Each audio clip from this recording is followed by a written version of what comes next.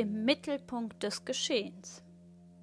Jemand steht in der Menge, aber fühlt sich trotzdem allein. Jemand ist der Mittelpunkt des Geschehens, aber fühlt sich trotzdem einsam. Woran liegt das? Es kann viele Gründe haben, aber in dieser Situation geht es um kein positives im Mittelpunkt stehen, sondern es geht darum, der Spott aller zu sein. Es ist die Möglichkeit für alle, sich am Leid des anderen zu ergötzen und von sich selbst abzulenken. Tagtäglich kommt es zu solchen Situationen.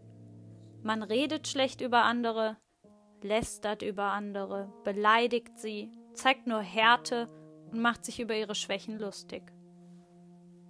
Warum?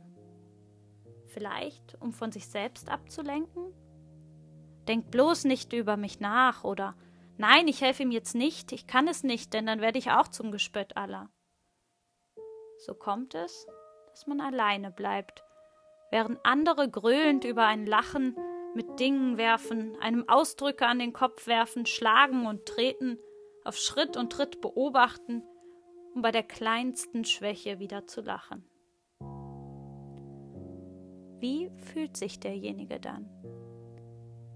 Es hat immer damit zu tun, ob man versucht, die Menschen zu verstehen, ihre Gefühle nachzuspüren.